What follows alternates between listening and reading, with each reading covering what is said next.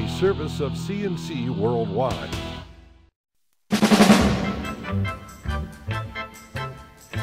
The Daily is a service of CNC News and Jib Jab. Greetings, I'm Bud Lowell, and your full AccuWeather forecast is right across the top of this and all your CNC local news pages.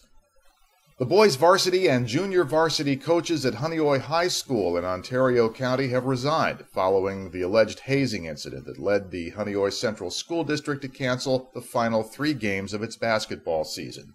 Coaches Jim Parshall and Jordan Trowbridge submitted their resignations to a Honeoye Central Board of Education meeting in the Ontario County School Wednesday night. Both were accepted. District officials confirm the hazing took place on a team bus coming back from a game not much more is being said about the incident beyond what was announced earlier in the week that the Honeoye Central Code of Conduct was violated and some students have been suspended as a result. Superintendent David Bills said nothing more, but parents talked about five or six varsity players being suspended for having hazed the junior varsity players. The district has not said whether the team will be able to take part in the Section 5 playoffs. Brockport police say one person was taken to Strong Memorial Hospital early Thursday morning following a stabbing incident in the village. The victim was stabbed at the Willow Brook Apartments. Those are across the Erie Canal from the SUNY Brockport campus. Campus police responded as well as village officers. There's no word at this writing on what happened or how badly the victim was hurt. Police in Rochester and Irondequoit are investigating the discovery of a woman's body Wednesday afternoon in Tryon Park an 82 acre wooded area on the city Irondequoit town line. The unidentified woman's remains were found in a ravine beside one of several creeks that feed into Irondequoit Bay, which is the northern border of the park. A county maintenance worker spotted the body and called 911. Firefighters recovered the woman's remains. Police are calling it a suspicious death based on the body's condition, and they're asking anyone with information to call 911. A Yates County woman has been arrested after allegedly passing drugs to her son while he was in jail. The Yates County Sheriff's Department says 54 year old Kimberly Margison allegedly passed oxycodone tablets mouth to mouth while kissing her son. She's charged with felony criminal sale of a controlled substance, also with promoting prison contraband. Deputies say she passed the drugs to her son, 30 year old William Partridge, on January 29 while she was visiting him in jail. He was being held at the time on a weapons charge. Margison pleaded not guilty, and she's now being held on $2,000 cash bail.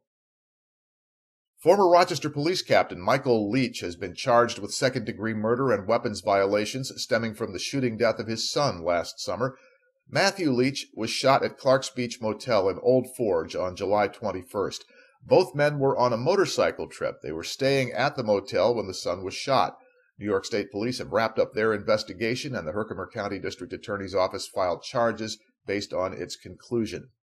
Matthew Leach was killed by a single shot from his father's service weapon, one he was issued by the Perry Village Police Department in Wyoming County.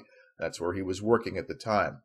Michael Leach's attorney says his client definitely fired the fatal shot, but he believed there was an intruder in the room and that he was defending himself.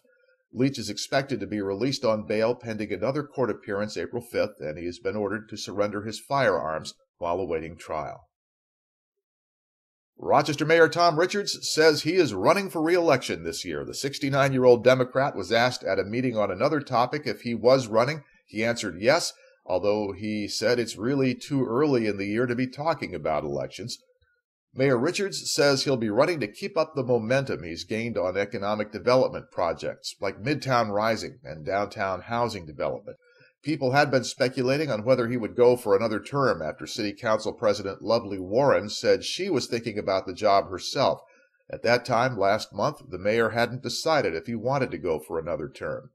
Meanwhile, the mayor says he's got work to do before it's time to talk about campaigning. By the way, Mayor Richards was speaking at a press conference announcing plans for a Rochester land bank.